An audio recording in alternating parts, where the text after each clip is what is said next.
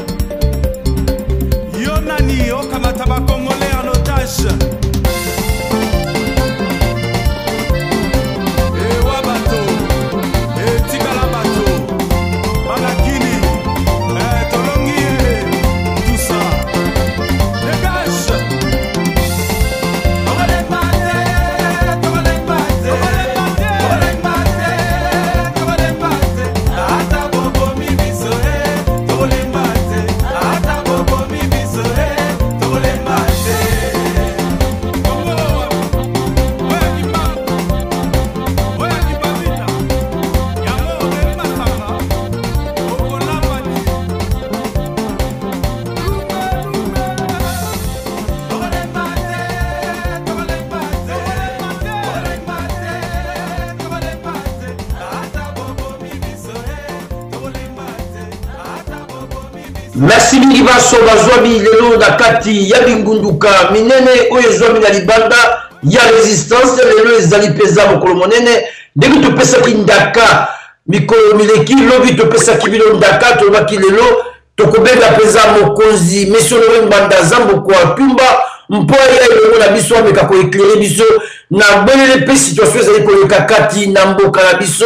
makelele ezali na kati na mboka mpe libanda aktualite ezali koningisa mboka yango lelo mokona mposo toyebisaki bino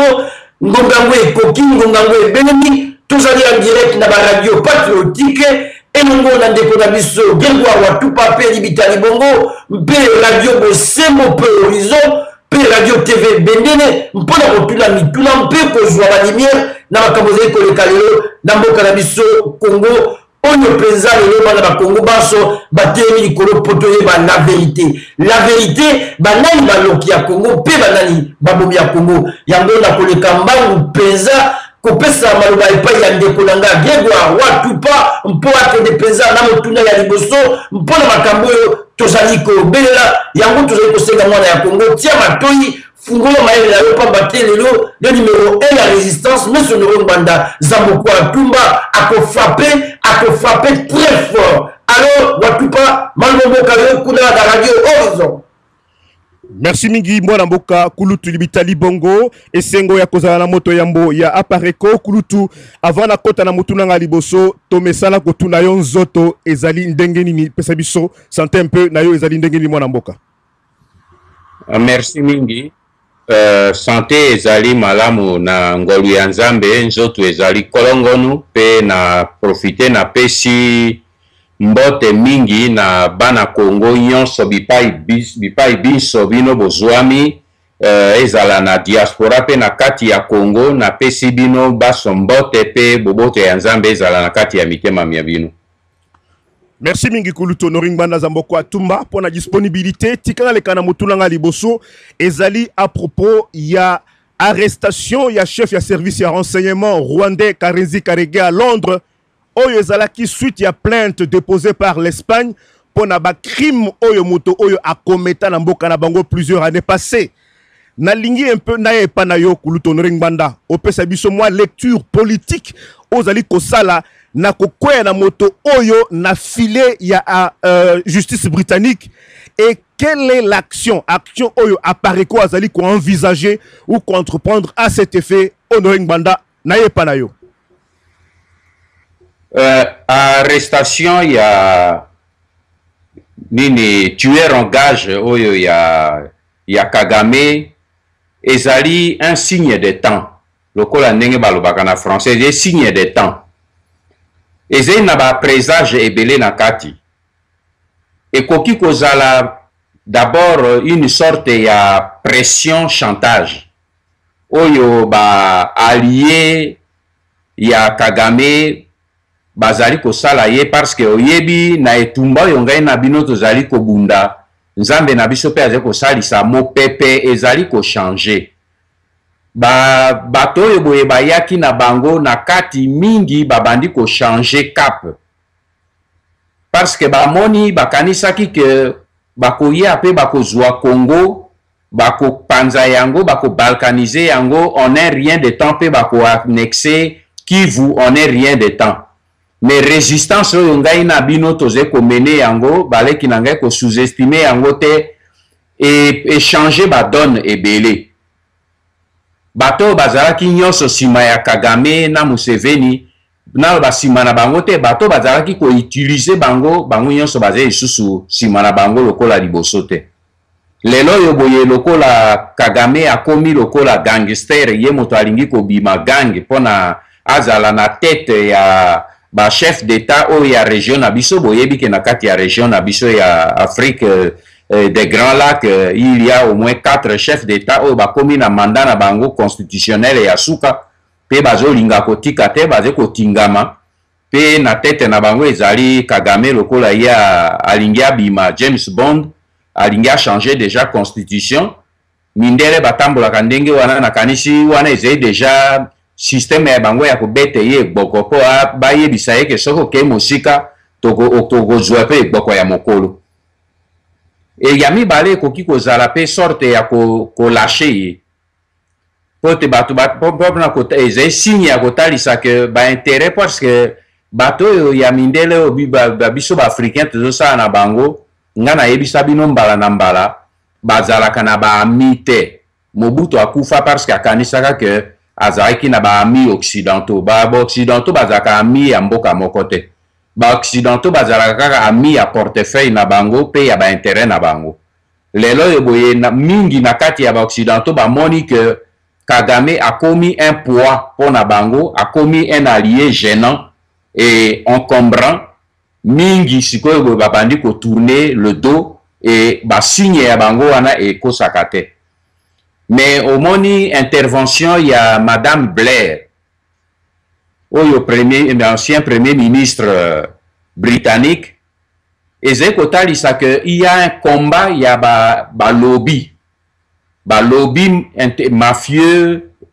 balobi financier balobi politique bacombat ezali yango wana ntango nalobaka na bino nalobi toujours que ce n'est pas l'occident dans son ensemble nde ezali ennemi ya congo mais ce sont plus des lobbies financier politique et mafieux bango nde wana esika probleme na biso ezali yango wana mais kuna na kati il ya des gens qui ne sont pas d'accord avec ce qui se fait chez nous donc ozomona wana ezali un combat oyo eze kosalema makasi na kati na bango mais il ya un dernier élément oyo tokoki mpe koreleve yango ezali la solidarité européenne parce que moto ya bato basali plainte wana ezali nini l'espagne mpo na bamindele mpe na kati ya bato bato baoccidentaux ba bakufi il y a eu aussi bato ya bapays mosusu lokola babelge na bafrançais bazali na kati donc il y a aussi une sorte de solidarité européenne qui pourrait jouer mais dans tout ça il faut kozala vigilant mpo na biso mpo na kotala dans quel vent ça va aller et c'est pour ça qu'il ne faut pas que totikala les mains croisées Voilà pourquoi dès que situation wana esalemi au lieu que totikala kaka tozobete maboko tozo ko crier nini sur place to instruire nini euh, ba représentants ya biso ya Pareco sur le terrain bakei mpo balukela balukela biso bayeba epai nini tata wana oyo bakangi ye le rwandais la le tutsi rwandais azali wapi Mpe basali nyonso bakei kokukola esika ya oyo babombaki ye, ba services oyo bazalaki ko interroger mpe ko traiter ye. Tango bakomeli bango, bato ya ba services wana basutuki, mais agreablement, ndenge balobaka, bazalaki agreablement surpris que il ya eu des africains oyo ba mi interesser mpe balandi tii bakei ko decouvrir epai motu wana azali. Alors batuni, eloko nini bolingi kosala biso toyebisi bango que mutu wana wa bino bokangi ye azali non seulement na problème avec vous mais azali moto oyo azali na problème avec biso ba congolais parce que moto wana biso tozali na dossier na ye ye moto azalaki na James Kabarebe na, na Kivu na 1996 bombardement ya Shake pe Mugunga oyo ebomaki plus de, de, de 500 euh, nini réfugiés utu pe ba congolais ezalaki ye James Kabarebe ye moko a reconnaissaki yango pe motu wana azalaki na service ya renseignement ye na Hippolyte Kanambe commandant Hippo donc mpo na biso dossier ya, ya moto bakangi wana ezali lie na dossier ya Hippolyte Kanambe soki basere ba, ba, ba, ba, ba, ba ye bien dossier ya Hippolyte Kanambe ekobima na nini na se ya mai parce que bango mibale bazalaki ensemble même massacre ya tingitingi azalaki ye na Hippolyte Kanambe donc bato wana babi ah soki ezali ndenge wana constitue dossier na bino rapidement boya na yango parce que ekokɔta na kati ya dossier na biso ekokoma valable mpe ekende nzela moko voilà ce que nayebisi na motu na ngai azali korepresente biso sur place nalobi napesi yo mandat signe plainte na nkombo na ngai rapidement ezali problème de temps et puis totii banini bacrime nyonso ye asali epe na biso tolekisi yango et puis to totindi copie na yango mosusu ekei na, na congrès britannique epai ya baparlementaire ba, ba, ba, ba britannique oyo bazali contre biloko tony blair azali kosala kuna toyebi bango bino mpe bozali lokola na nini na, na uk boyebi bango bien Donc il faut toyeba ko utiliser bato wana nyonso totindi kopi na ambassade ya, ya union européenne na ambassade ya espagne mpe na kopi na nini na cpi na lae parce que toyebi que dossier oyo tokotisi kuna ekokoma maintenant valable ndenge bango bayebisi biso bafe wana bango bakokotisa yango na dossier na bango ntango bakolekisa yango kuna likolo Voilà action oyo tosali mais okomona nini ndenge ba, ba parce il faut biloko ndenge wana boyebaka yango bino ya congolais na cabinet na nga bayebisi abia euh, président amoni eh, nini un, un congolais aye que oyo oh, bino moko boyebi aye ati commentaire na ye oyo oh, appareil kotika récupération ozomona bozoba na bino oyo bajeunesse oyo ya lelo oyo boye oh, nini certain na kati na bino bokomi lokola pire ke banyama parce que Euh, Gregoire, soki yo moto okei ko, komeka koatake bana ya nzoku na troupeau ya nzoku, meka kopusa na eleko ba nzoku bazali na bana na bango bakopietine yo a distance. Meka kopusana na troupeau ya nini ya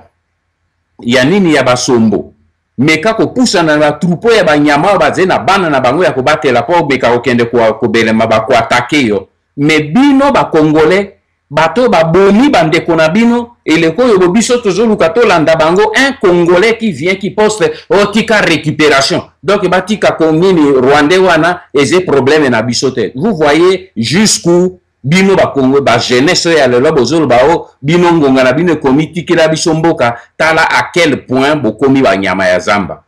yango wana bino botikaka yango nalobaka chaque fois baidio ya modèle wana vous permettez moi le terme je les appelle les idiots parce que bazali na oyo eloko tozoloba eza kofinga te ezali idiosi na français babengaka yango idiosi soki okoki meme kocomprendre te ke baye koatake tata na yo mama na yo na kati ya ndako epuis moto oyo aze kodefendre mama na yo na tata na yo oze kopekisa ke osala récupération te alors oze idio merci nazongiseli bino maloba me na suka eloko nakoki koloba yango oyo boye mpo na koclotire question na yo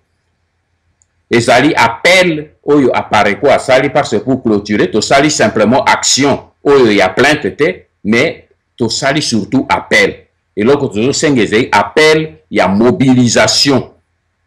omoni barwandais baprograme mpo babanda kosala baaction na poto surtout na uk epai bino bozali mpo na kokende koproteste ko contre nini arrestation ya motu na bango batiki ye na liberte provisoire batieli ye ba singa ya controle ya bango batiyaka na makolo ya bato pour que balanda ye baretire passeport mpo abima te jusqu'à ce que basisa mais dossier wana bakoya kosala yango bazali na trois mois oyo bako mpo na koexamine si batransfere ye ou pas pendant ces trois mois eloko tosengi ezali ke biso bacongolais moto wana azali moto oyo boye asali ba crime pe na biso avec Hippolyte Kanambe tozalaka kaka tozo crie tozo crie te à partir du moment où moto wana maintenant amonani polele pe ba mindele bango moko bakwe likolo na ye mwa moke oyo biso tosengeli kosala ezali une forte mobilisation bisika nyonso bakongole bazali komimanifeste liboso ya baambasade ya Espagne, ambasade ya UK mpo na koyebisa bango tozali derrière bino mpo na kosoutenir dossier ya moto wana, bolashe yango te. Mindele basalaka bongo ntango bomanifeste na nini na, na nini na Belgique, ambassadeur na bango akokomunike bango. Bomanifeste na Italie, ambassadeur na bango na Italie akokomunike. Bomanifeste na, na Canada, ambassadeur na bango kuna na Canada esika bomanifeste à communiquer bango ayi ba congolais ba mi mobiliser partout likolo na mwana wana parce que mindele balandaka opinion alors botika bazoba bazoloba récupération tika bango pembeni to bomi mobiliser parce que tozo mi battre awa boye ezali combat d'opinion combat d'influence combat de force donc euh, il faut que tous les congolais ba mi mobiliser ezali un petit dossier te parce que kanambe est impliqué dans ce dossier là nazongiseli ye bino maloba merci mingi kulutu honore ngbanda zamboko atumba mpo na biyano oyo kitoko outi kopesa na sujet ya moto oyo mobomi criminel en série moto babengi karenzi kareke merci mingi nazanga moko te eh, na kati ya ngunduka na biso patriotique eh, libita libongo auti koanosango tika na kende koteya radio tv bendele kulutu libita oza na maloba Merci, merci ndeko Gedoa kwa tupa kozongisa maloba ngambo na nga toza mpenza na ngonga ya kobungisa te mpamba te lelo longilima ezali kosalama mpe mbonge ezali kosalama mpe londende monsieur honore ngbanda liboso nalingi napesa yo mbote bonjour monsieur honore ngbanda Bonjour euh, Libita. Merci, merci monsieur Leo Ngbanda. Lelo mpenza koningana ezali ndenge nauti koloba mpe londende ezali na makambo ya mboka na biso Congo, leader ya opposition oyo bazali kobenga na nkombo ya Messie Tshisekedi wa Mulumba, touti kolanda ye le 27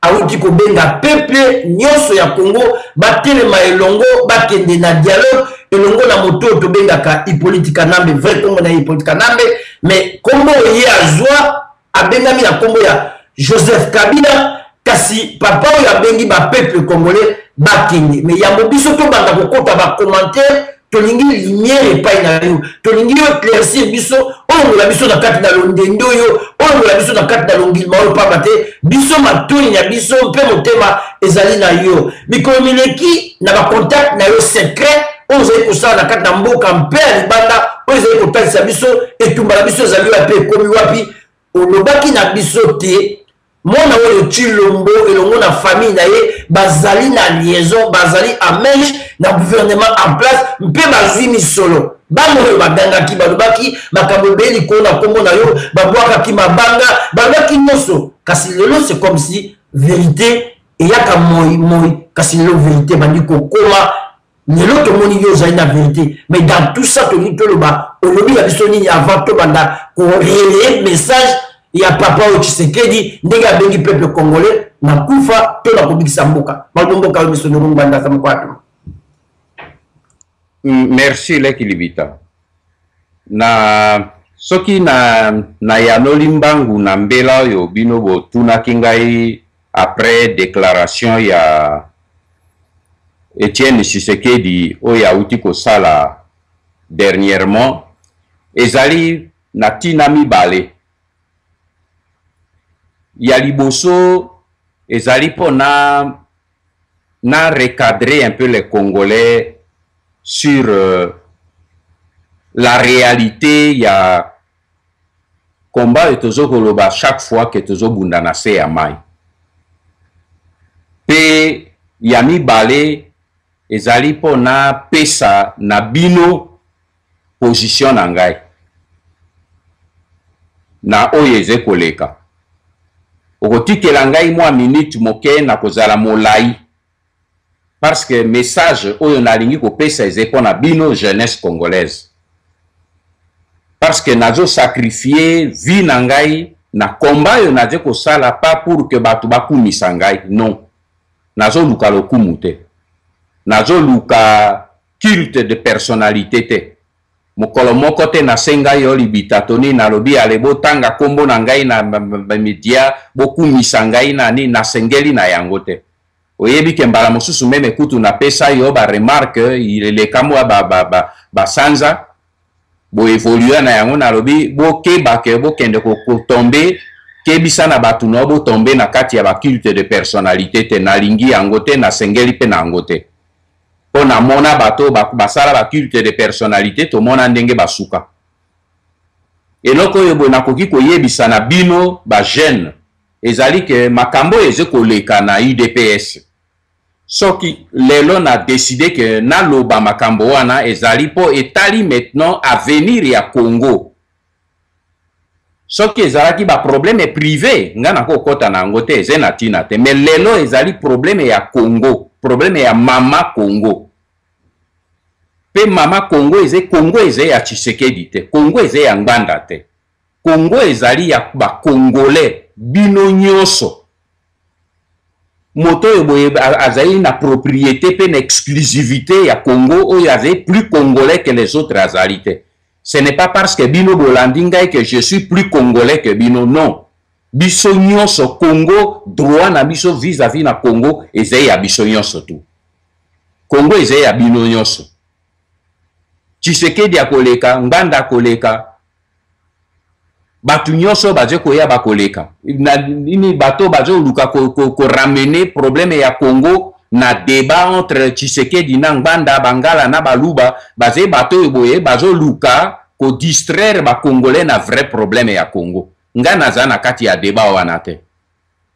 probleme nalingi motu soki alingi koloba aya koyebisa ngai ke makambo oyo ozo kolobela bato ezali faux par 1 plus 1 égale 2 makambo nayebisaki bino sur euh, nini makambo ya udps toyebisaki bino na niveau ya, ya nini ya, ya pareco te chilombo kamere kaleve mogalu basalaka mese noire na bango ntango tobimisaki yango moto moko ayebaki likambo wana te mais soki nabimisaki yango c'est parce que ezali problème oyo etali avenir ya biso nyonso bakongo soki bango bakutanaki mpo na kosala makambo na bango oyo etali bango wana e-, etali ngbanda te mais à partir du moment oyo makambo bazosala eze kotouche avenir ya congo ya biso nyonso tuna peuple congolais ngai namitere pour, pour, pour le compte de qui ntango bango bakutani basali complot na bango pour que bayokana pe ba, ba nini basala, basala dialogue kanambe azwa nini possibilité ya ko glisse po kanambe ayebi que sport ye nini bamindele ba, ba, ba omoni biloko nga nazolobela bino bango bazoprofite na mateya oyo nazopesa bino hein? kanambe a comprendre que mpo ye a réussir il faut peuple congolais azala derrière ye wana mindele bakoko bakotelema akozwa glissement et pour que bapeuple bazala derrière ye il faut azwa baparti politique oyo ezali oyo ezali nini na pignon sur lui loko azwaki mlc na udps moto oyo atindaki ezalaki kamere bino moko bozalaki batemoin mikolo oyo basanza oyo elekaki awa boye kamere na na nani na chilombo bazalaki patalo na mokaba okoki omono chilombo sans, sans kamere te parce que kamere azwaki mission ya korecupere chilombo azwaki mission ya korecupere mlc ntango biso tobimisi sekele wana qu'est-ce qui s'est passé bato ya idps ntango babandi koproteste ko, ko, ko, na kati Tshilombo maintenant aye kosala marche arrière alobi ah non makambo wana moto oyo abimisi yango ezali Kalev mais ntango biso tobimisi sekele wana to, topesi detail oyo Kamere azalaki na yango te c'est que nani, ka, nani Kanambe ayokanaki na, na nani na Mogalu na ye Kamere na Kalev pour que soki nini makambo ebongi ye Chilombo akoma premier ministre 3 3 ans et permettre ye pe ka, nani Kanambe azwa glissement na ye tango kamere aye kooka likambo wana abi ah donc euh, bang, bang, nini bango balingi ba doubler ngai kamere aye kosala marche arrière Tshilombo lokola atikalaki na kati ya esanga, il était oblige lui aussi de faire marche arrière compte tenu meme na bato ya IDPS tango babandi ko, ko, ko protester pe autour na ye ba question au lieu que ye apesa réponse claire comme ameseni na lokuta ndenge asalaka na makambo ya mbongo ya parlement o te omoni makambo wana ezali kaleve moto abimisi yango ye na banganda oyo bazalaki bamobutiste bato baboma mboka Voilà nazo fungola awa une parenthèse po na repondre une fois pour toute na Tshilombo Tshisekedi po ngai na mi interesse na ye te moto oyo ngai nayebi un leader ya, ya, ya nini ya udps eze Etienne Tshisekedi mais comme ye alingi kokamata flambeau ya, ya udps mais alingi kokamata yango avec le nom de ngbanda mpo abanda kovehicule bamensonge parce oyo nazo répondre bato mingi oyo bafingaka ngai na repondaka te mais nazo koexplike pourquoi nazo répondre na, na chilombo mpo ye azozwa flambeau ya udps e derrière udps bana ya congo bazali ebele oyo ngai nazo respecte bango mais azoluka kozwa yango mpo abanda koutilize ko mensonge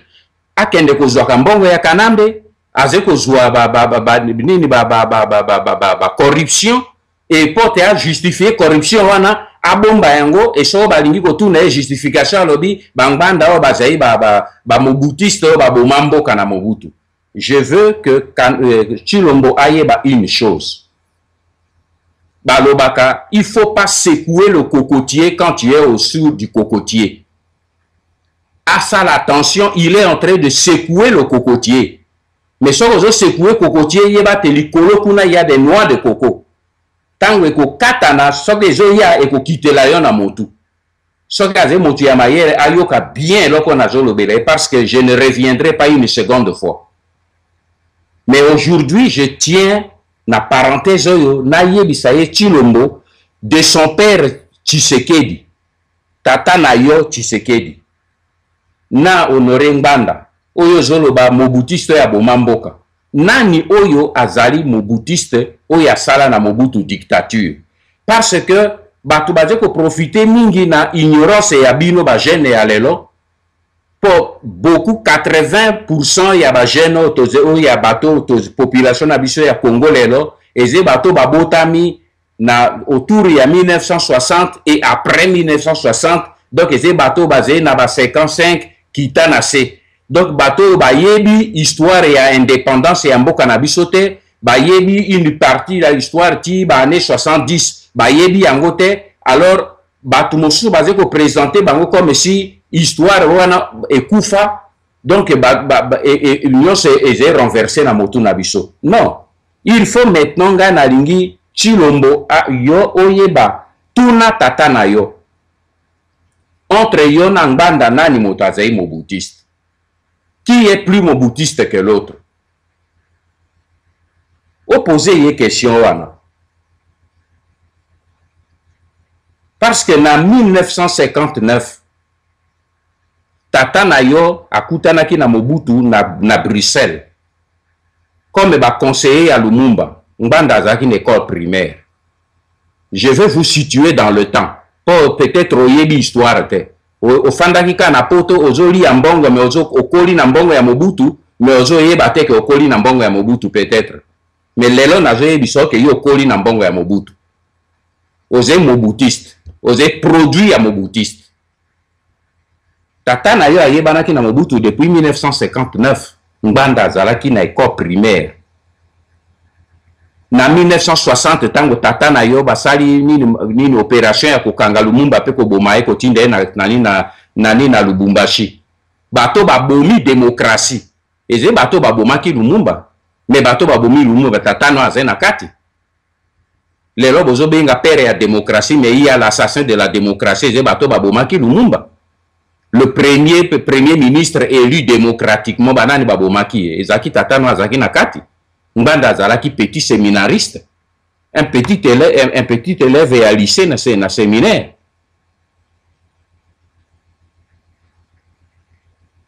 ntango nini bacreye groupe mbinza autour ya mobutu na septembre 1960 bamukamba babomboko na nendaka ezalaki na tata na yo tshisekedi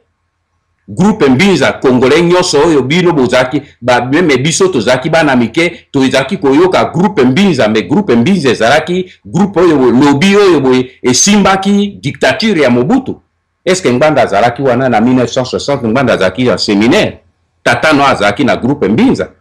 ngai nazalaki na mobutu te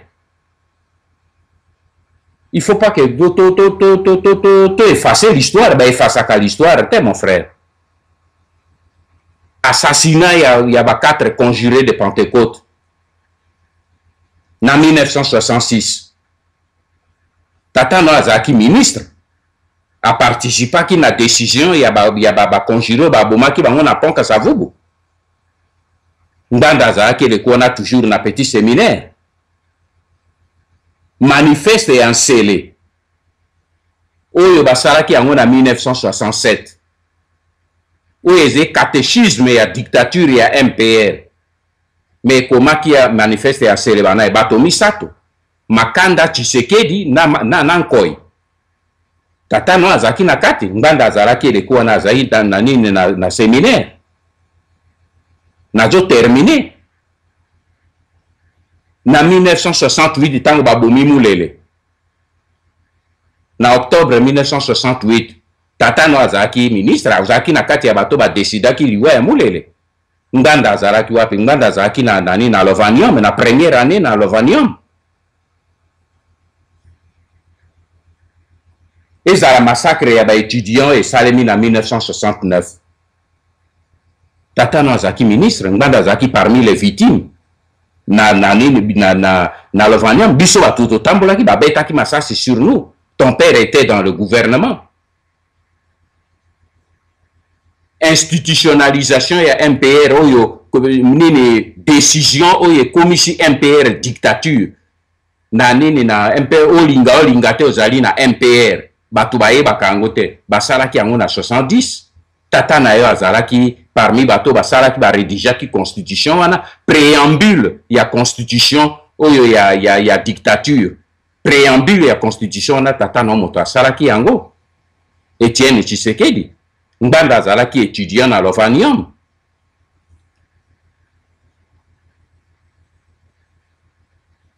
il faut to, to, to rétablir histoire koeffacer histoire te tshisekedi a été quatre fois ministre ya gouvernement ya mpr parti état quatre fois Ngbanda n'a jamais été ministre ya gouvernement ya MPR parti état. Ngbanda a été ministre ya gouvernement ya Mobutu na transition et sous le gouvernement ya Etienne Tshisekedi tata na yo. Nga azaki ministre ya Tshisekedi. alors oye ya koyebisa bato wa ah, vala eh, nini ngbanda bango bato oyo baboma nini me nini yo ozalaki na poto mbongo oyo ozalaki kodondwa na yango na poto ozosala baambiance ezalaki koute mpe na tata no me azalaki kozwa yango wapi ye na mobutu ngbanda ete aux études arrete soki nalobi yango eza mpo o arrete définitivement manini ba mensonge oyo ozosala soki bolingi débat tosala débat nazoloba yango lelo mpo lobi oyo ya koloba te tuna tata na yo azali vivant mpo soki olobi obi ya ah non eh, vous avez attendu que mon père ne soit absent mpo oloba yango nalobi yango du vivant de votre père napesi yo eh, eh, chilombo conseil kende kotuna tata na yo parce que bozoloba toujours ah ben il a combattu la dictature il a combattu la dictature pendant qu'il a combattu la dictature tuna nano tata no Yebisa ye ke Honore Ngbanda moto alobi na nga na tuno quelle etait vos relations privees avec Mobutu pendant que vous faisiez votre combat contre Mobutu? Quelle etait vos relations? Tuna tata na yo avait vivant. Loba na ye ke se Honore Ngbanda moto alobi. Parce que ngai j'ai occupé des hautes fonctions d'Etat et je suis un homme d'Etat. Il y a des choses que ti lelo ti na kokufa na koloba yango te. Mais soki na lobi na loba certaines choses lingomba na bino wana ekopanzana nasi naloba yango plusieurs fois tata no ayebi ke nakoloba te tuna tata na yo quelle était vos relations privées avec mobutu pendant que vous le combattiez tuna mama na yo marte quelle, quelle était vos relations avec mobutu tuna ye azali boze bino na ye tuna ye obi nani ngbanda honore ngbanda pesa bien nkombo wana bayebi yango ke alobi natuna bino relation na bino prive na mobutu ezalaki nini nalobi te ke boloba yango en public eza ya problème et puis bapesa yo réponse baze nano vivant mpo oloba te ke ah non eh, vous avez attendu que mes parents ne soient plus là pour parler je parle maintenant parce que eza problème et que totika ko, ko, per, ko faire perdre bacongolais l'essentiel congo eza ya biso te to perdre congo na bamakelele ya babiloko ya biso bato te parce que koya kodistraire ko bacongolais mpo na koluka kosala baintérêt oyo ya biso non yo moko tshiseki yo moko tshilombo oyebi très bien mogalu oyo azo ya kopesa yo mbongo tuna mogalu quels sont vos rapports avec ma tante le petit, la petite sœur de tshisekedi oyo azali na kati ya parlement bokomisi problème ya congo lokola problème ya, ya vie privée d'une famille c'est pas normal donc soki nalobi naloba te parce que ezali problème mais nalingi meme kokoto na badebat ya babiloko wana te mais quand on, on, on, on dit au congolais faites attention tala likama eza epai oyo ah bangbanda bato bamobutiste ba bango bato baboma ba, ba, ba, ba mboka mais maintenant je veux que tosala un débat polele sala un bilan sala colonne deux colonnes oyo makambo ngbanda asala na mobutu na oyo tshisekedi asala na mobutu totala nani qui est plus mobutiste que l'autre et qui a fait quoi avec mobutu tosala nano colonne comparative nalobi yango parce que ezali un problème oyo que il faut to nini to distraire bacongolais te nazongi maintenant libita na, na nini na récit ya evolution ya situation tozali na yango j'ai ouvert une parenthèse là pour Chilombo pour qu'à comprendre une fois pour toutes que le mensonge on ne fait pas la politique politique oyo baza kosala na mensonge ezalaki bapolitike oyo ya bileko ya kala toluka nao tosala cette maintenant une politique de, de vérité Chilombo ntango pression oyo eye makasi epai ya, ya, ya nani ya, ya, ya kanambe Tshilombo a change d'attitude alobi bon maintenant nakokende lisusu na nini na, na nini na dialogue te eh, biso tolingi lisusu dialogue te tolingi accord cadre ya Addis Abeba c'est là mpe nayebisaki bino yango na bi toze kolanda yango parce que ntango ekomi nani kanambe akonvoke kalev akonvoke mogalu mpo ntango tozoloba makambo wana bato mosusu bazoba bia ah, donc soki ngbanda azoyeba makambo wana ce que il travaille avec kalev ozomono kaka be médiocrité ya bacongolais yo moto oyo boye oyo yo ozokodétruire ye ye kalev yango azali nyama ya zamba aza kosala mosala mpo areusir na carrière na ye bongo azwa basekele ya, ya, ya mosala oyo ye azosala mpo areusir carrière na ye aya ye azobele malali kuna mpo azoyeba te comment nini appareil mpo azozwa biloko oyo mpe ezodetruire mosala oyo ye aza kosala c'est ça la force du renseignement nayebisa bino ntango tozoloba se ya mai se na mai baidio mosusu bazocomprendre te mais na se na mai c'est le travail de penetrer en dessous mpo moto oyo aza na se ya mai ye nde ayebaka nani alati elamba nani azosukola bolumbu azomona bato nyonso oyo bazali na se kuna on ne fait pas le combat sans renseignement un pays oyo azali na service de renseignement te akoki jamais koregistre c'est impossible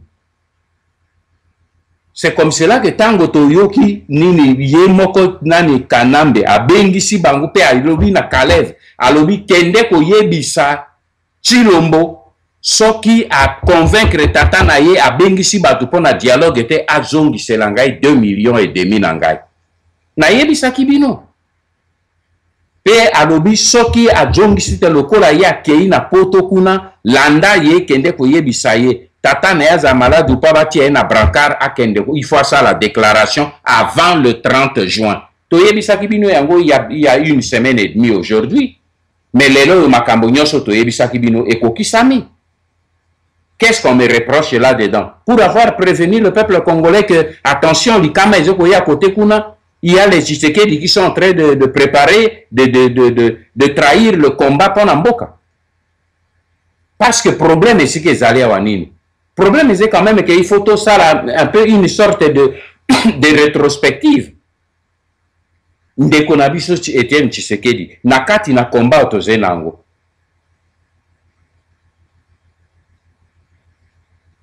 na 1996 ntango baatake mboka na bapaya c'est lui qui a démobilisé l'armée congolaise ça c'est connu babalie na ye nyonso ye moko amifanta na yango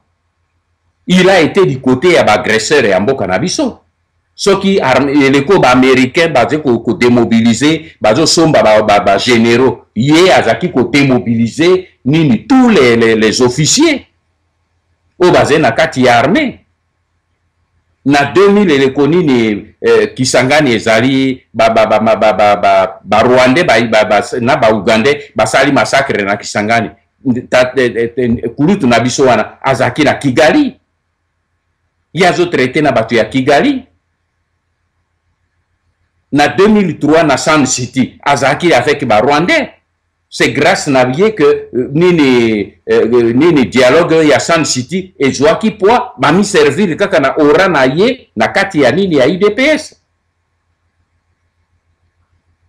na 2006 ba élection ya 2006 ezalaki réussir te tant que udps azalaki or euh, nini contre euh, euh, les élections ndeko na biso mpuila oyo azali na belgique wana mama candide okeke awutaki juste eleko wana kokɔta na, ka, na nini na, na cabinet na ngai comme conseiller principal ye moto amemeki délégation ya udps na na na nini na ndeko ya biso mpuila bayaki kokutana na ngai na paris toyokani na bango babi toye kozwa mpe position na yo parce que toyebi ke ozwi mpe position contre les élections mais biso baze koloba ke il faut malamu tokoto nde na kati bongo kuna nde bako bakosala pression nayebisaki bango na bi bandeko na ngai bino bozo nani moto ya oyo train oyo bazo babomata na kati moto oyo azo koconduire train wana boyebi ye te mais soki bokoti ekomema bino wapi nayebisaki bango bazongi babi en tout cas ozali na raison mpuila a continuer à défendre notre position mpuila azali wana docteur mpuila botuna ye il a eu des problèmes avec bandeko na ye ya udps balobi no ngbanda aréussir koretourne yo pourquoi ozali contre baye kosala nyonso tu bakoti na baélection wana tout le monde connaît le résultat aujourd'hui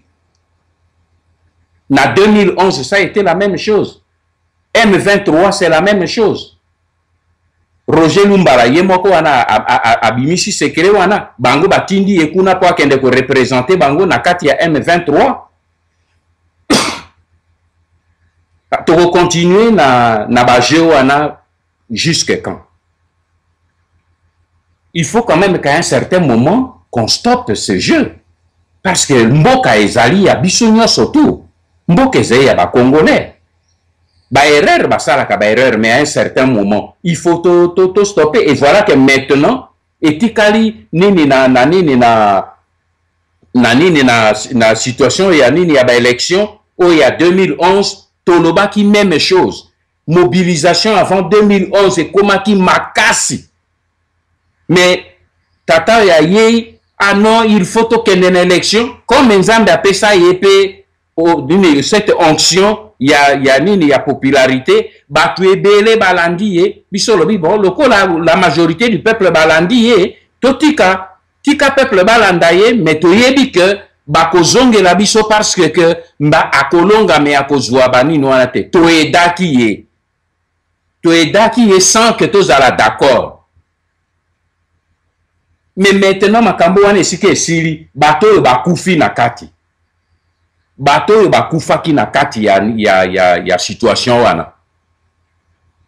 Bana oyo bakufi.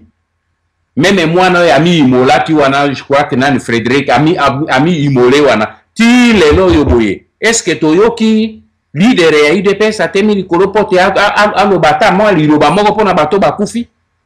bambongo bango bazozwa ba 2 millions et tout ça mama ya mwana oyo akufi oyo ami imolaki wana bapesi ye ata 100 dollars ke bakende korendre ye visite mama zwa ata 100 dollars de consolation mpona mwana oyo akufi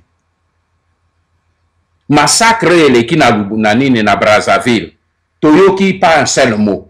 ba congolais ba ba ba, ba violer ba congolaise sous nos yeux ba ba, ba massacre ya ba congolais pas un seul mot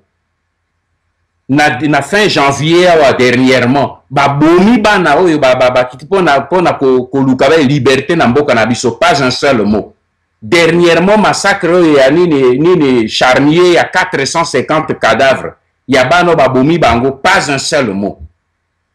bongo kaka be pona mbongo oyo bazui maintenant on réunit les gens et puis on parle 3 minutes pour dire aux gens allez aux élections eh, aller au, allons au dialogue soki bokei na dialogue te donc eh, soki dialogue yango emarche te bongo totindi bino lisusu na nzela comme ba, ba, ba, ba, nini bachaire à canon voilà c'est ça que moi j'appelle vraiment nini un manque de respect pour na peuple congolais moi je, je, je respecte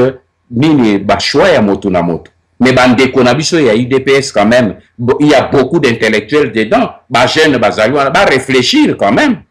tozo sala un debat ya ya ya haine contre la personne ya Etienne Tshisekedi to soki oza leader il faut ndima ba critiquer yo bato bazo critiquer bazo finga ngai au lieu que ba critiquer nazo yoka nano moto oyo que aloba que voilà ba idée ya ngbanda ezali boye boye boye ba ba critiquer ba idée pe ba démontrer que makambo nazo loba ezali faux okoyoka te bazo finga personne na ngai mais ngai nazofinga kulutu chirkedi te nakofinga ye jamais parce que aza kulutu na ngai babota tata na ngai abokolo ngai dans le respect ya baene et de respect de tout le monde soki meme bakade nasalaka yango te nakosala yango na kulutu na ngai te mais naze koinvite plutôt bacongolais oyo bazali quand même baintellectuel le pays nous appartient bapaya bato bayaki nini bato baatake mboka na biso kagame museveni bango moko ba reconnaître publiquement bato bayaki na na nini na na na eh, cérémonie ya 50 nini ya 10e anniversaire ya Pareco bamonaki totiaki film ya Tari El Jiad Jian El Tari na nini Afrique en morceaux na kati wana kagame museveni nani james kabarebe bazoloba bango moko polele bakongole bayebanaki te totii bango esika moko ba, ba, ba, tokutanisi bango mpo tozipa ndenge nini biso toatake congo bapaya bango moko bareconnaitre que ils ont attaqué notre pays ils occupent notre pays mais yo ozali leader oyo baattaque mboka na yo et tout ça pas un seul moment okoyebisa ke mboka na ngai ezali attaqué par peuple na ngai botelema mboka na biso ezali attaqué j'ai sorti le document de 30 pages mpo na kotalisa peut-être nalobi ngai nazali na avantage oyo boye parce que tozali lokola bamembre d'un corps Nalobi lokola ngai oyo ya ngai don Nzambe apesi mpe na mosala nasali ezali ya renseignement oyo biloko nasala nano enquête nabimisa ba element nyonso natia na disposition ya bandeko na ngai ba, ba leader comme peuple bayeba ke mboka ezali occupe nabimisi namonisi bango liste na makambo nyonso tu na bareseau ndenge ezali koopere dementi moko esalemi na kigali te dementi moko esalemi na kinshasa te alors comment on peut maintenant en ce moment là baya balobi ya ah non toya tokende na nini na dialogue eh, nini soki dialogue emarche te bongo tokende na na na na, na nini na, na balabala mais dernièrement nini le, de, après nini 2011 mais on avait dit la même chose peuple atunaki ye tunisie tunisie tunisie abi bolala pongi ya ba bebe epuis apres abi no ligote ngai motu wana bomemela ngai ye peuple akende koligote moto oyo azali na bachar na bacanon amemela bamemela ye epuis maintenant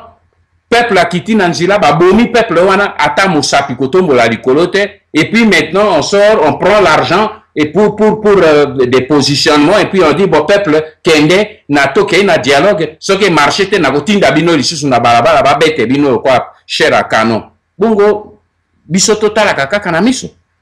Au nom de quoi? Et au nom de qui? Voilà pourquoi nini libita nayebisi que lokola nayebisaki bino problème oyo tokomi nango sikoyo ezali problème claire le congo appartient à tous les congolais makambo ya bana ya famille ya ezali te ezali makambo oyo eleka il faut bino ba jeune congolais bomi debarrasse nanu na ba idee oyo ya ba tribu ya ba clan bazoluka koramene bino a ah, bangala banini et tout cela mpo na koluka kobrouye bino bato bazosala yango bazosala na nko depasse ça esika bozali combattre wana boyebi ke esika bozali derrière la résistance ce sont toutes les tribus oyo ezali na kati ya résistance ce sont toutes les régions oyo ezali na kati ya résistance mpe na kati ya resistance totalaka te oyo azali mokongo oyo azali moluba oyo azali moswahili oyo azali moka etalemaka te totunanaka te ozali nani totun eloko toluka toyeba ozali patriote résistant oui tomibatre mpo na mboka na biso e dorénavant moto nyonso oyo akotelema mpo na koluka kodevie bino ezala nkombo na ye honore ngbanda meme ngai oyo nazolobela bino po mutu akweyaka lobi soki boyoki ke honore ngbanda akweyi azui mbongo et bien rejete moi parce que le congo ne m'appartient pas naloba na bino te ke landa honore ngbanda na bi landa les choses que je vous dis soki ezali verite verifie makambo nyonso nalobelaka bino soki bomoni ke makambo naolobela bino eza ya lokuta tika ngai landa bato bakolobela bino verite mais aujourd'hui j'attends que moto aye akoloba ke voilà honore nganda alobelaka bino ke likambo oyo eze x plus y ezali lokuta lelo namoni okwa bato mosusu bazali kosala a ah, aye alobaka te bakende na dialogue mais moi j'avais appelé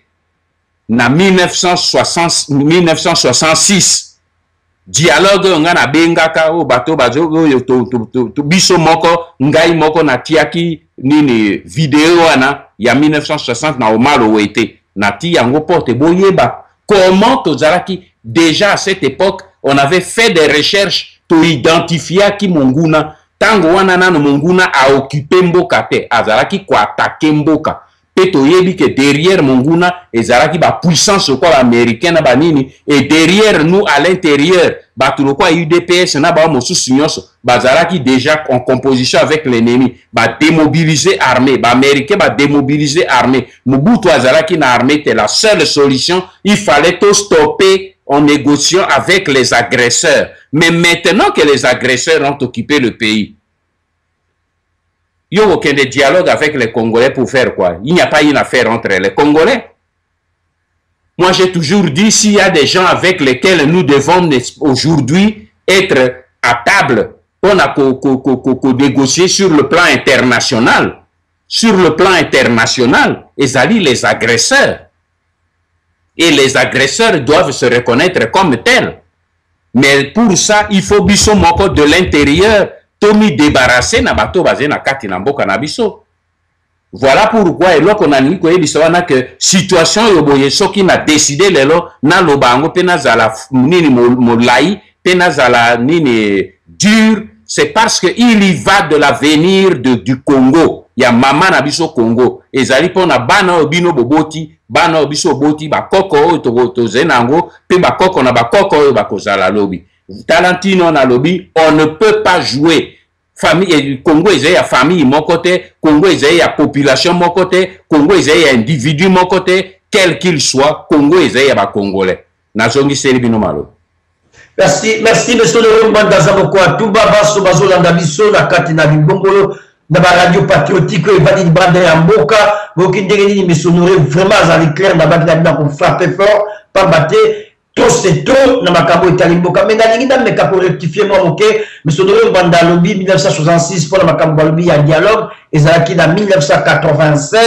oyo asalaki interview elongo na omaloute na la voix du zaire koma bandeko bakoma kotombola likolo balobi misonore ye mpe alukaka dialogue na banzi boyoki ntina yango alobi ntango wana bagresseur bazali koatake nano bazwi mboka te bango bazwaki mpe nyonso oyo ezali kosalama na molili ke ba agresseurs na biso non seulement ba rwandais mais ba occidentaux mpe bazalaki na kati yango yabengaki dialogue mais lelo tomoni ntina ya dialogue te mpamba te basi bakoti mpe bavandi na kati na mboka mais soki tokomi bandalandanga lisusu mpamba te ndongo ebandi kokima na biso mbangu bato na biro na yo bakomi kosala signe lelo bapatriote congolais nyonso bavandi na libanda mpe na kati na mboka bazali kozela kaka opinion na yo te mpe makambo oyo monsieur tshisekedi asali appel te mais balingi mpe baconsigne claire na nyonso oyo monsieur tshisekedi auti koloba mpe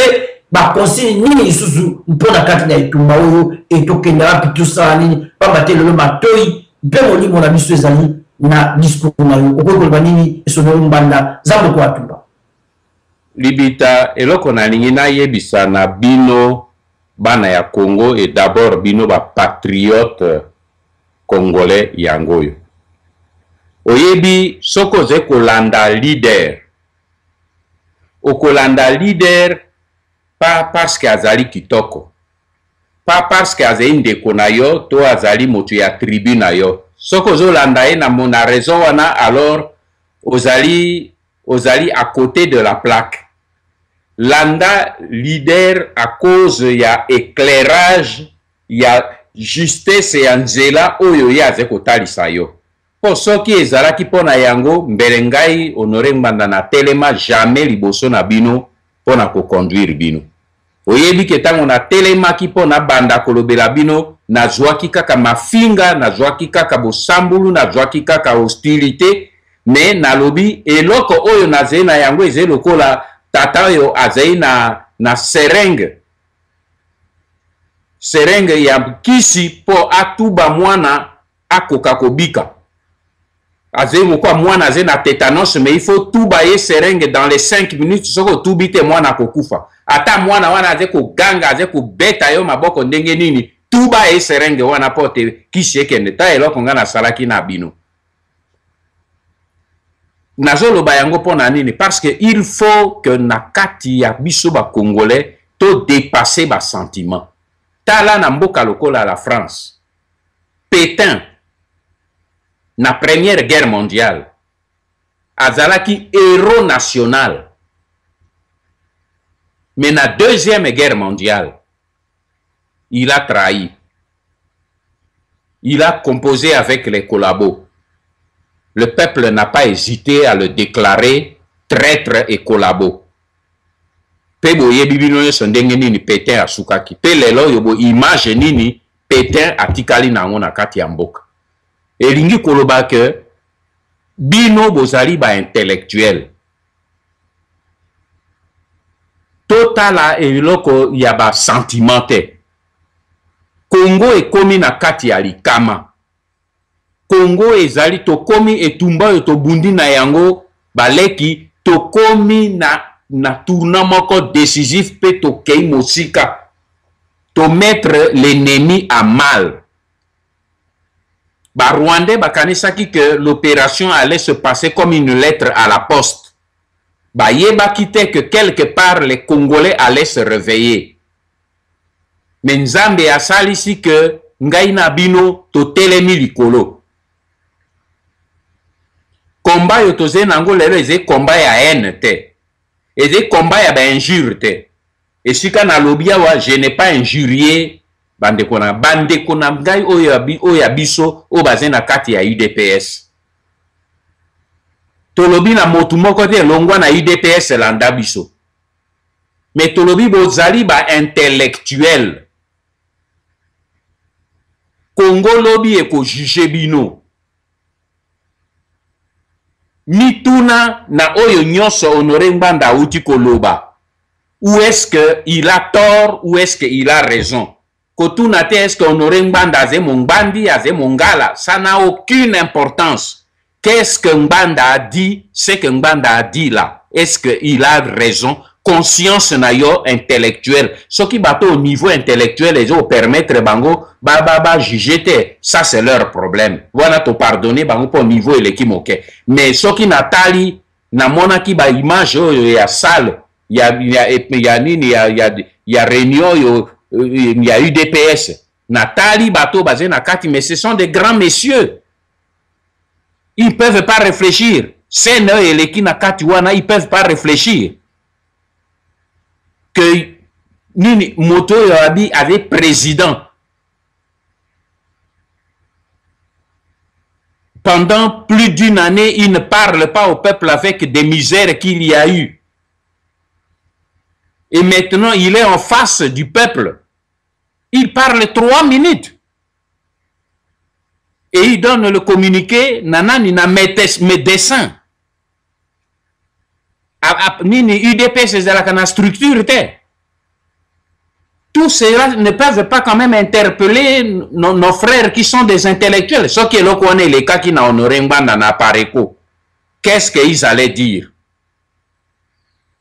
biso na kati ya pareko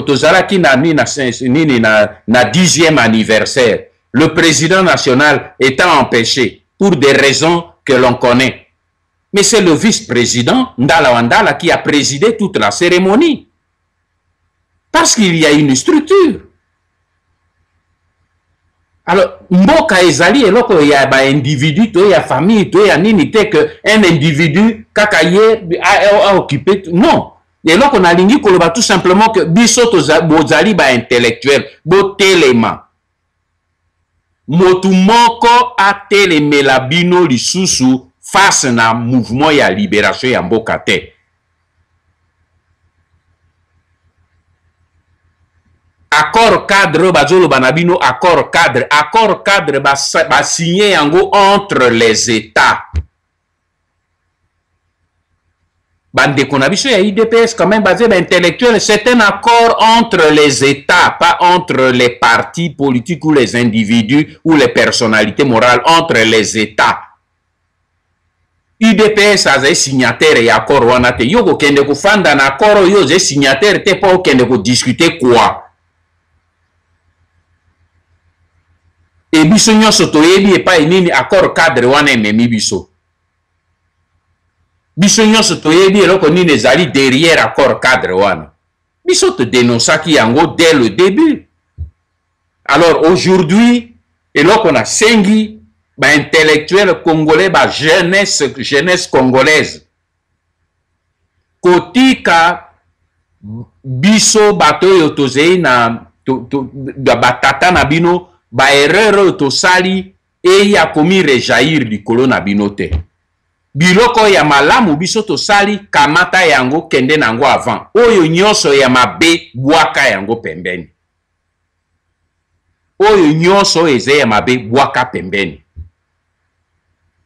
Parti politique soki moto asali parti politique ekomi eloko moko publique pona bato oyo baye kolanda ye bakoti na kati. Ezali boutique familiale te pour que bato soki baye baya komi soumettre à une famille. soki tozoloba yango c'est parce que ezali un problème qui concerne bana ya kongo nyonso sinon soki moto alobi ke j'ai créé une partie familiale ngbanda ne, ne, ne parlera pas mais aujourd'hui c'est une affaire ya bakongolais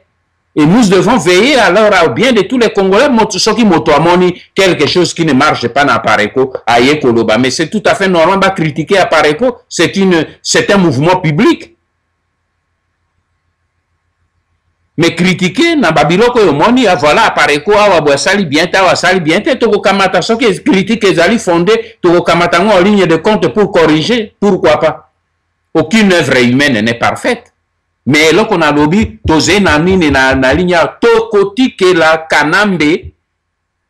possibilité ya kosala glissement oyo ya bango ya nini te tokotikela meme bato oyo ya baélection possibilité ke bazwa esu peuple bakanga bango bande na miso élection négociation et tout ça te bino moko boyebi baélection banégociation ememela biso rien et nous ne pouvons plus nous laisser faire voilà des consignes que je vous donne moto nyonso oyo akoloba na bino négociation et tout ça considérez ye comme un traître et traitez le comme tel merci beaucoup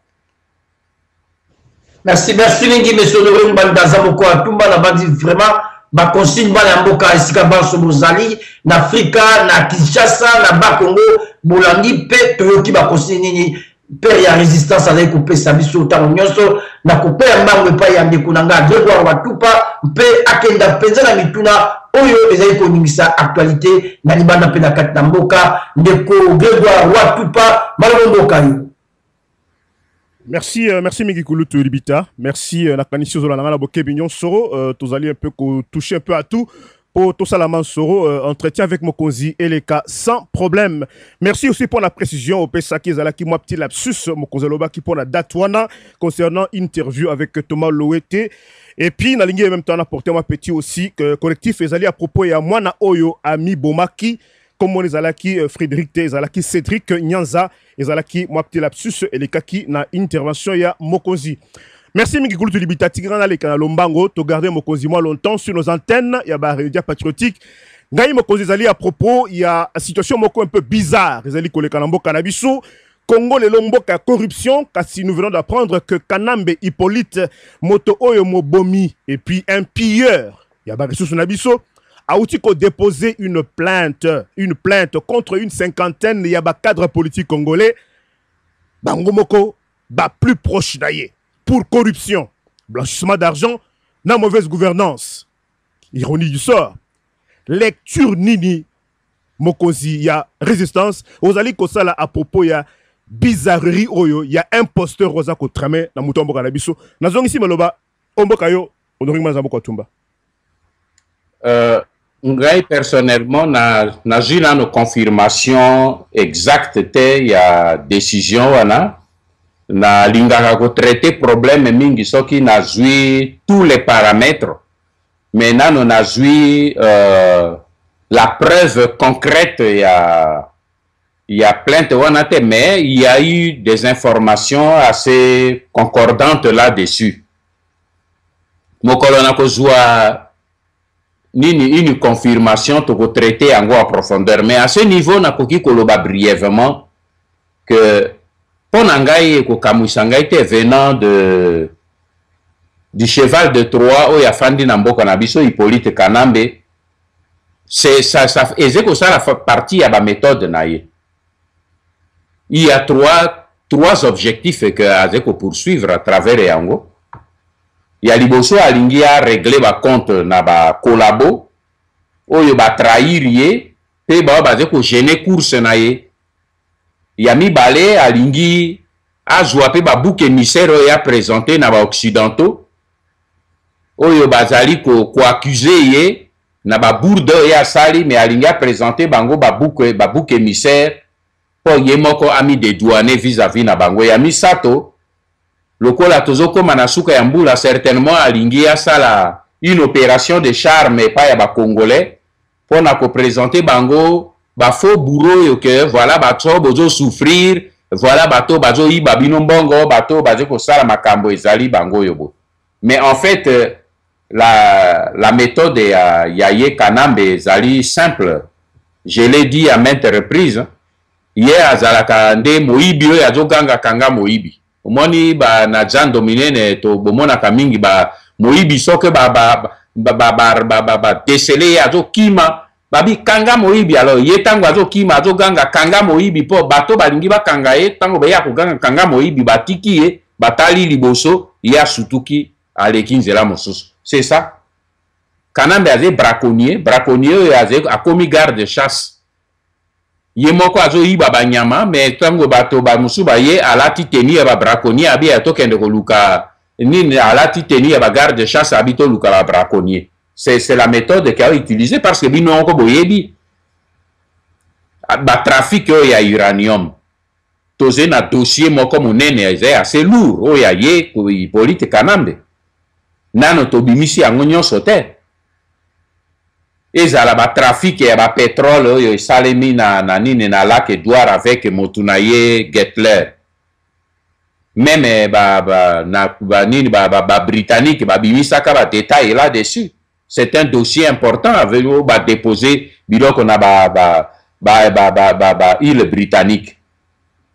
ezala bradage ya Gecamine, bradage ya Miba, bradage ya Kilomoto. Oyebi ke Kilomoto lelo or nyonso oyo ezali na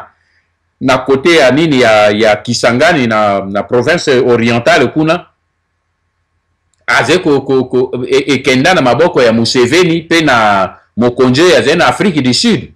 na famille na ye bango nde na, na kanambe bango misato wana bato baze koexploite biloko kuna nyonso bon ye akokende kofunda bato mosusu ke bango bato baze kosala pillage comment pillage eyebani lelo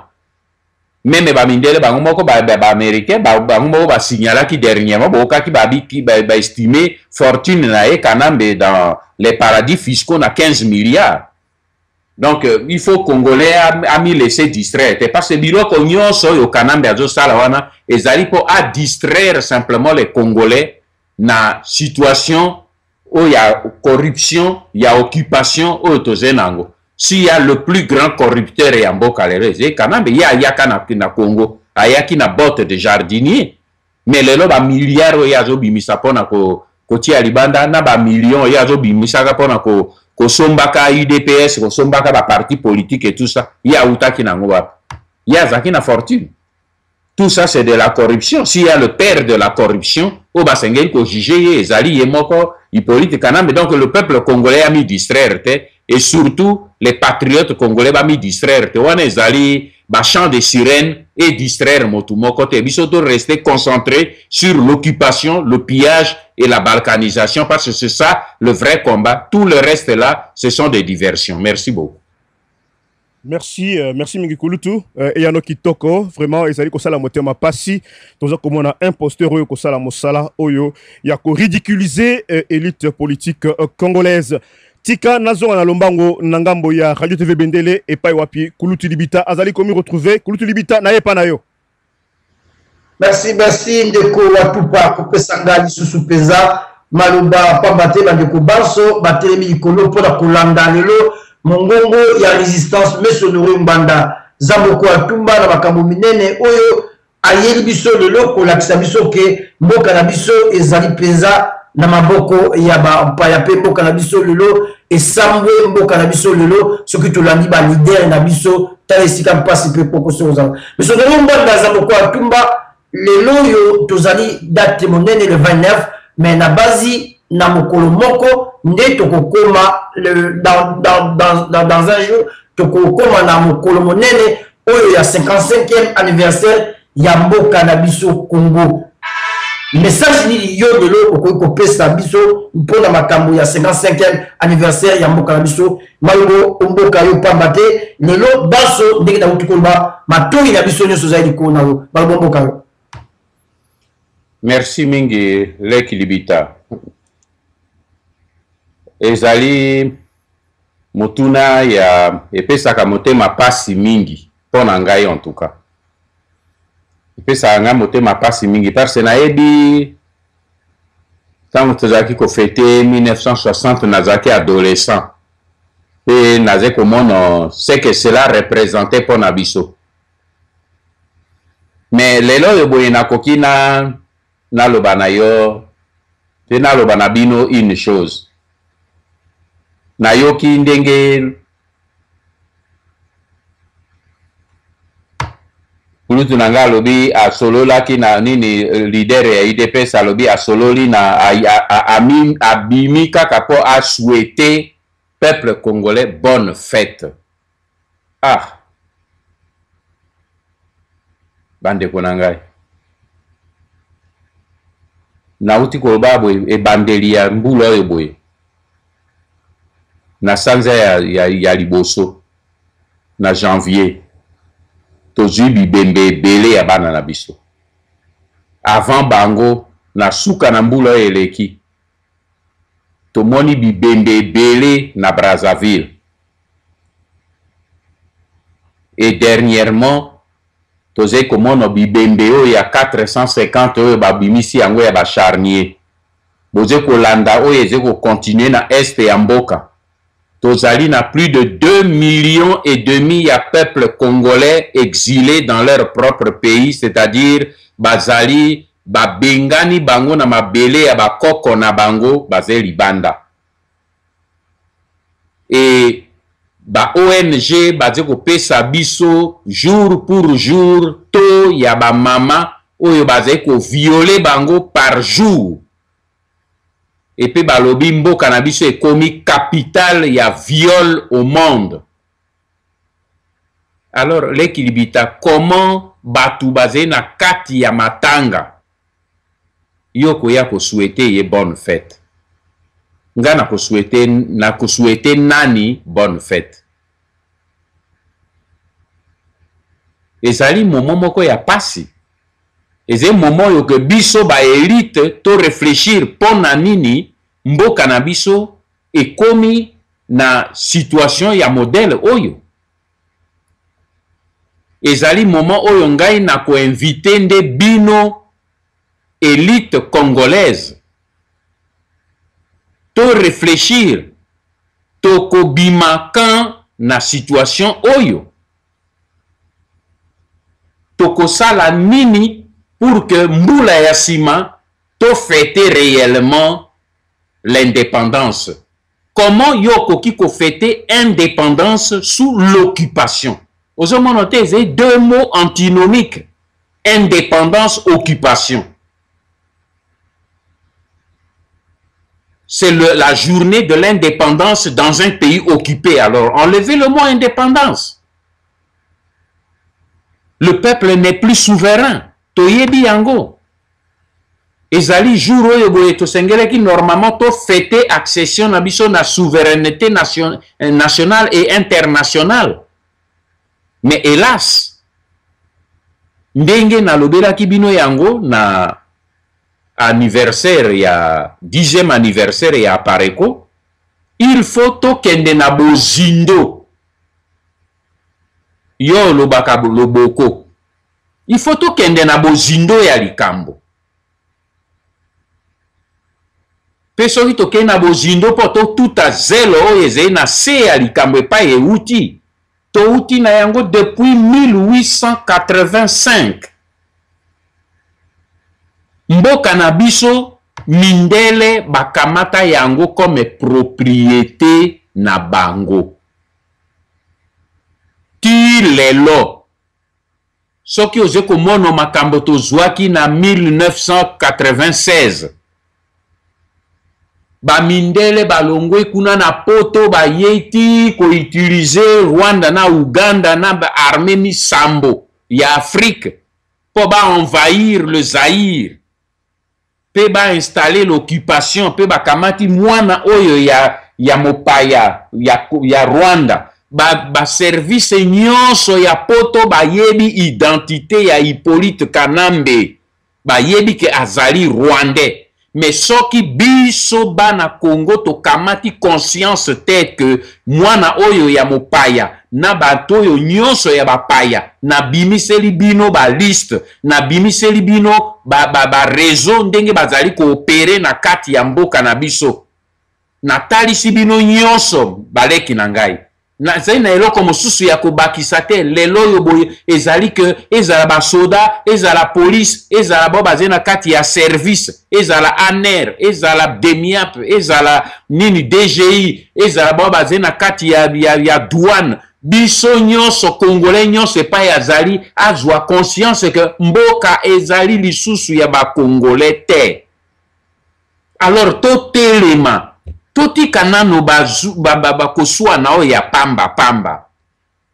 ekomema biso nulle part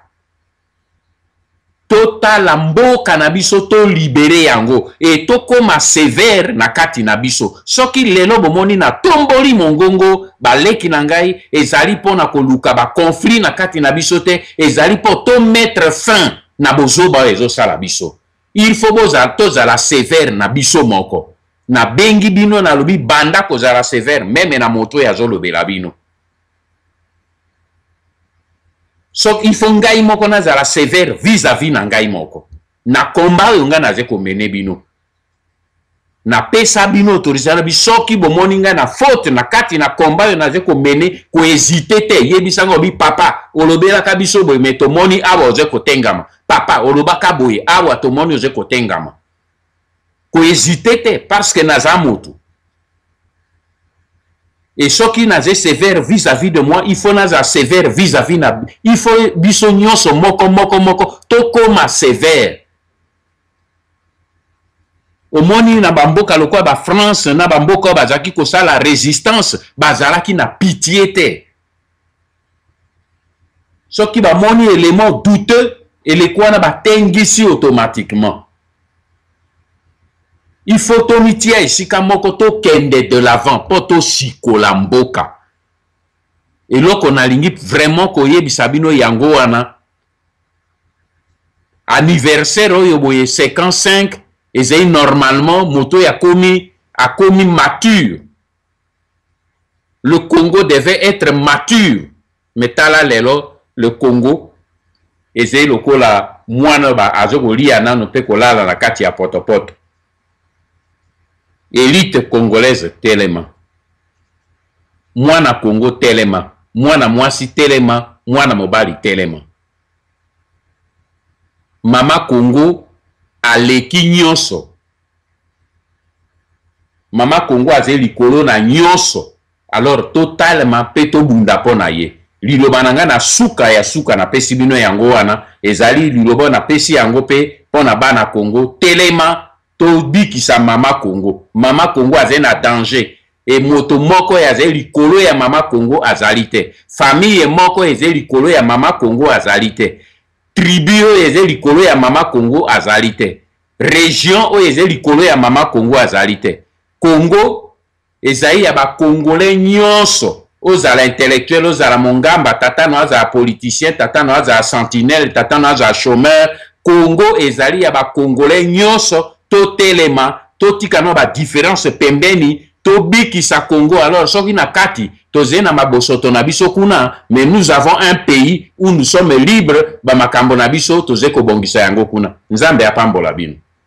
merci merci mingi monsieur le nganda zamboko atumba basobanaki biso na kati na baradio patriotique radio bosembo mpe radio congo horizon yango nyonso oyo balakaki biso mpe na kati na tamtam d'afrique Radio Television Bendele, nabanzi bowuti koyoka nini mokonzi alobeli biso, pamba te londende mpe londima ezalaki likolo na makambo oyo ezali koleka na mboka na biso, na kati na mboka mpe na libanda na mboka, mpe ameki kofixe biso na pene ya Mese Etienne Tshisekedi wa Mulumba, oyo alobaki mpe alobeli biso makambo ya. anniversaire monene oyo ekozala lobi na mboka na biso ya independance me ye alobi ezali mawa mpe mpasi na ngonga oyo mpenza azali mpenza kosuete bon anniversaire na peuple congolais te mpamba te makama mpe mawa maleki na mboka na biso congo bato na congo bakomi kotambola likolo na bibembe Banso tobandi kolela bibembe mpe tozali kolela bibembe yango, alobi ngonga yango yango oyo te ya ko souhaiter bon anniversaire na peuple oyo azali kolela. Boyebi na mboka na biso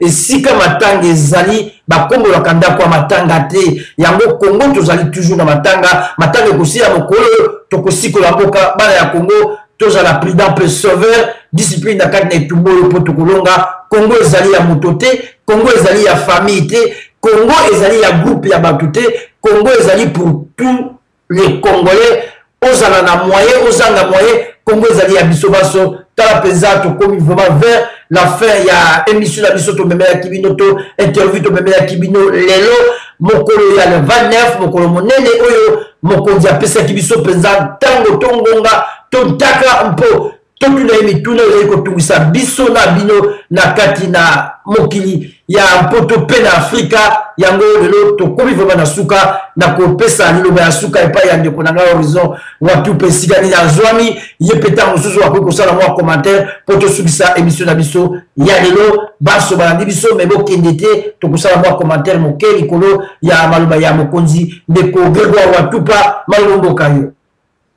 Merci, euh, merci mingi Kulutu Libita. Vraiment, outi ko beta CT, konyata penza, et sika moto yambo. Malgré toujours agenda nae, toujours chargé. Andimaki na poko lelo. Aye la biso po ameka a kolongola. Vraiment, brouillard. Oh, lelo, ezali vraiment ko balayer. Mitu ya certains Congolais. Mosala ki toko asali na poko lelo. Avec lui ensemble, to aborder sujet oyo. Ya arrestation, ya ce criminel en série. Karenzi Kareke, chef ya renseignement rwandais, moto oyo aboma et puis aza ko continuer koboma à travers ndeko na ye oyo bakota ensemble na James Kabarebe Hippolyte Kanambe, lelo aza na kati ya maille ou bien na filet ya justice britannique. Mais mpo boko motuya moto ya mbolobi ete Apareco a procédé na dépôt d'une plainte na niveau ya ba instance ya minene ya mokili mpo na kolakisa ete moto oyo boza ko poursuivre ye mpo na bampasi kokoso asala na mboka na ye kasi moto oyo mpe biso bakongole tozali na ntina ya koyebisa bino ete azali mobomi mpe na mboka ya république démocratique du congo epuis corelairement pembeni na ye azali obe en contact permanent avec leur proconsul hippolyte kanambe oyo aza kotrame na moto ya mboka na biso c'est vrai culte libita oaborde point oyo ezala mpasi ya etienne tshisekedi papa na biso oyo vraiment tokanisaki ete alingaki ami ressaisir akwea mpenza na motambo oyo te mwana ye atie na masolo oyo ya nkuku oyo baza kobeta na bapaya oyo baza na moto mboka na biso kasi tala ete kulutu abimi dans 3 minutes ayebisi peuple congolais que voilà tokende na masolo na imposteur oyo lelo aza vraiment kocreye charnier partout na mboka na biso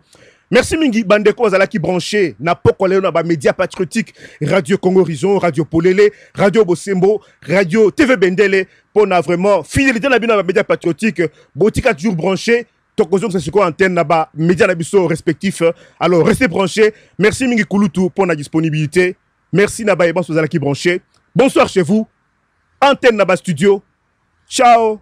ciao ciao